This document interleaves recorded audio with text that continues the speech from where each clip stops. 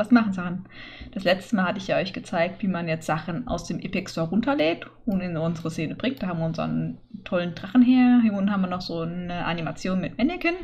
Ja, und heute zeige ich euch eine andere Seite, wo man auch Assets, Materialien und so weiter herbekommt. Und da geht es auch unter anderem um den hier. Den habt ihr bei mir schon wahrscheinlich schon öfters gesehen. Den habt ihr ja nicht. Megascans. Und über Megascans finden wir ganz, ganz, ganz, ganz viele Assets. Und dass wir den hier bekommen, müssen wir erstmal auf die Seite. Zack. Quixel.com. Oder ihr gebt auch einfach Megascans in Google ein, findet ihr auch. Quixel ist so halt die Seite, worüber das alles läuft. Ich habe mich schon eingeloggt mit meinem Epic-Account. Das Schöne ist, wenn ihr mit der Unreal Engine arbeitet und dementsprechend einen Epic-Account habt, kriegt ihr die Assets und Materialien von Quixel oder beziehungsweise von Megascan kostenlos und dürft die nutzen.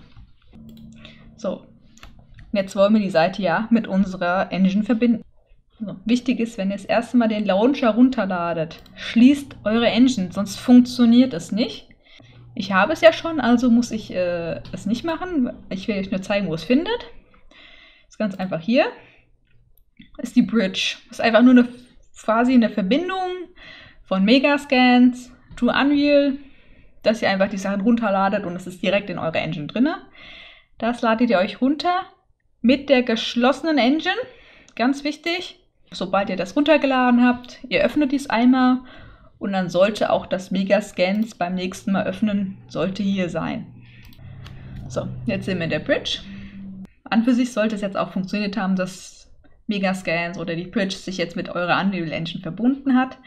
Falls es aus Gründen nicht funktioniert hat, müsst ihr sie nochmal neu runterladen, aber normalerweise, wenn sie geschlossen ist, sollte es funktionieren, dass das passende Plugin auch direkt runtergeladen wird. So, und hier haben wir halt einfach nur mal runtergescrollt, können wir hier die neuesten Assets sehen. Es sind verschiedene Themengebiete angegeben, hier sind Assets und so weiter. Es gibt jede Menge neues Zeug. Es gibt jede Menge Zeugs. Hier ist das Neueste, glaube ich, aufgelistet. Und da könnt ihr euch jetzt einfach mal so umsehen. Ich glaube, wir nehmen als, ba als Beispiel einfach mal diese hübschen Köpfe hier. An der Seite geht unser erstes Fenster auf. Hier können wir erstmal inspizieren. Was ist das eigentlich? Ein Foto, die Maps, was ist hier alles so drinne? Eine 3D-Ansicht kann man sich anschauen. Mit den verschiedenen Meshes aufgeteilt. Alles hier spannend. Hier sieht man auch die Größe, ob es geschlossen ist. Kann wichtig sein, wenn ihr im Variant macht, ob jetzt eure Steine irgendwo unten ein Loch haben oder so weiter. Ja, und halt ähnliche Objekte. Jetzt müssen wir dieses Asset erstmal downloaden. Wir können, wir können in den Download-Settings einige Sachen anpassen. Zum Beispiel suchen wir Zeug für Unreal. Also sollten wir die Materialien ja auch für Unreal anpassen. Texturen bei so kleinen Sachen 2K, kein Problem. Ihr solltet auch die Texturen immer ein bisschen angepasst haben. Habt ihr kleinere Assets, geht auf 2K. Bei, klein, bei größeren Assets könnt ihr auch auf 4K gehen. 8K braucht ihr nicht wirklich. Das sind halt mehr für äh, Offline-Rendering, wenn ihr einen Film oder so weiter macht und die Sachen halt einmal gerendert werden. Aber da wir in der Game Engine in Echtzeit rendern, ist das sehr aufwendig und sehr anstrengend für die Engine. Deswegen guckt da ein bisschen drauf. Format halt FBX.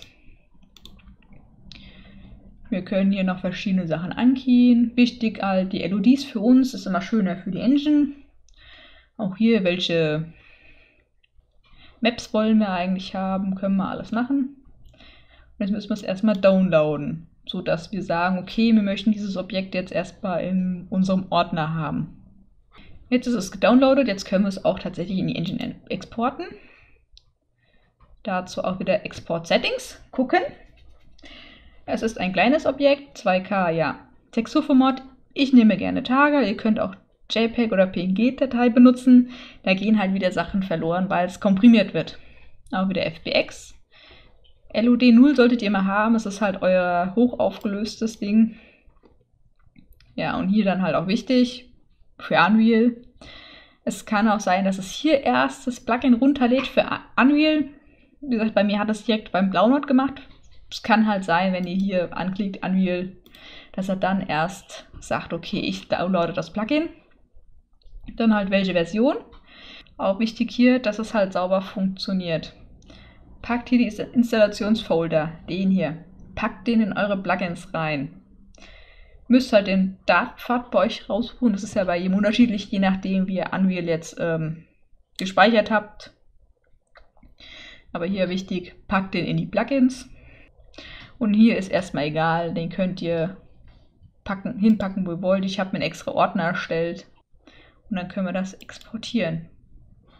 Und seht ihr auch schon, es passiert was. Es exportiert. Es ist erfolgreich exportiert. Dann sollte es auch hier, ja, es wurde importiert. Oder es importiert noch. Dann warten wir kurz. Es plöppt jede Menge Zeugs auf. Alles successful, alles funktioniert. Okay, das passiert öfters mal noch Smoothing Groups. Ist aber bei dem Assets nicht schlimm. Schöner, wenn sie es haben, aber die Qualität bei denen ist auch so ganz gut. Und schon.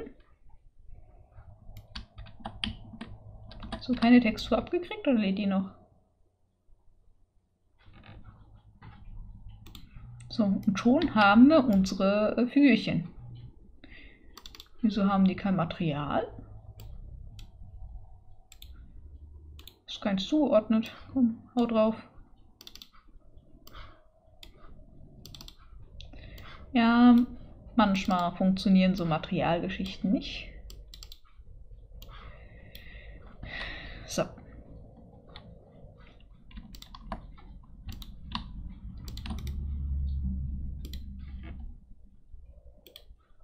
So, okay, alles importiert. Ich habe es nochmal kurz gespeichert. Wir haben hier unsere ganzen Sachen drin. Wir haben hier das Material, die verschiedenen Texturen und unsere Assets. Die können wir jetzt Ui, die sind auch wirklich verdammt klein.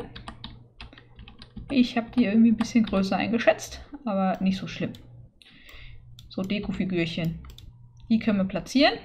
Und das Schöne halt an den Megascans-Materialien finde ich, die sind hier so aufgesetzt, dass man halt wirklich sehr, sehr viel anpassen kann.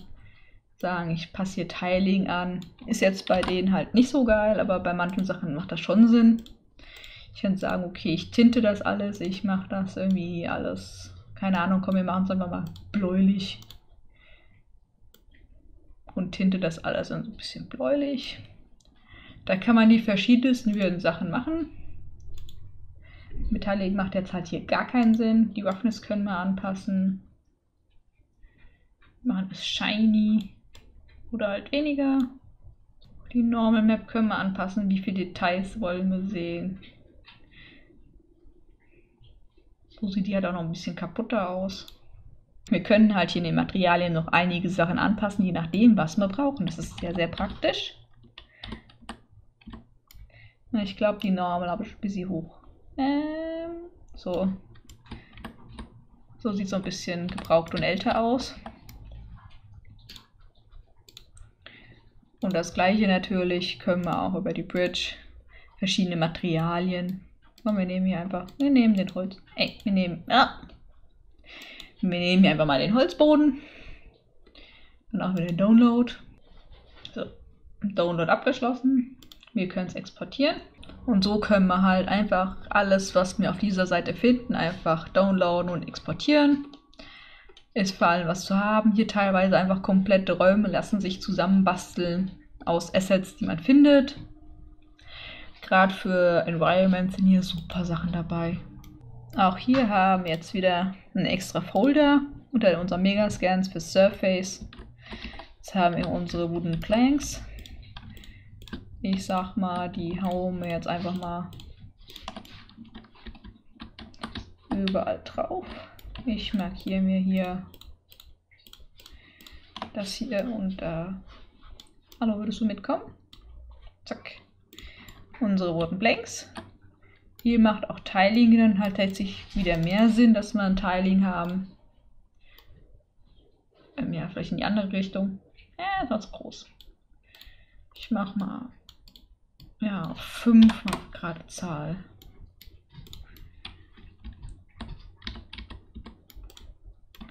Ja, und dann passt das auch. Sind die World aligned? Hier müssen wir dann aufpassen, dass Kanten passen. Man hat auch die Möglichkeit, hier nur in eine Richtung zu skalieren. Je nachdem, wofür man Ersatz braucht, kann man das einstellen. Wir können auch sagen, okay, ich hätte jetzt halt schon ein bisschen dunkler.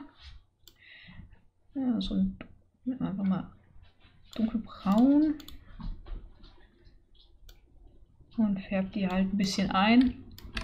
So kann man halt in 0, nichts sich das passende zusammenbasteln.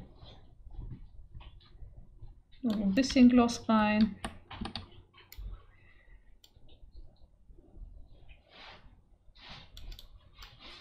Ich glaube, wir bleiben bei 4. Machen wir mal gerade Zahlen. Ist, glaube ich, fürs Video schöner. Obwohl eigentlich egal. Und so kann man sich ruckzuck das Passende für seine Szene zusammenbasteln. Egal, ob man jetzt was für ein Spiel machen möchte oder halt ein hübsches Foto machen möchte. Kann man den Unreal auch machen.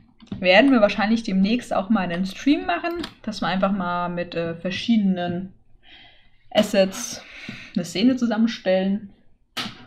Mal gucken. Und das war jetzt auch schon zu Megascans und der Bridge. Wie gesagt, ihr kommt ganz leicht an Assets ran, einfach runterladen, hochladen und ihr könnt loslegen und basteln. Ihr könnt eine komplette Szene euch machen. Wenn dann jemand Lust bekommen hat, sich irgendwas zusammenzubasteln, ihr dürft noch ganz, ganz gerne Screenshots zukommen lassen. Ob jetzt über Facebook, Discord oder sonst was. Bin mal gespannt, ob jemand sich inspiriert fühlt, irgendwas zusammenzubasteln. Wir werden wahrscheinlich, wenn ich die Zeit dazu finde, auch mal in einem Stream irgendwas zusammenbasteln, dass wir halt eine kleine Szene basteln.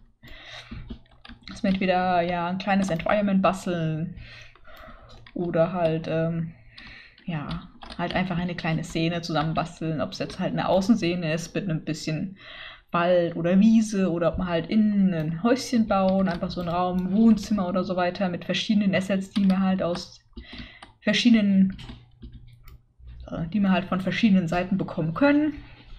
Tja, mal sehen. Ich wünsche jetzt aber erst euch mal einen schönen Tag und man sieht sich später.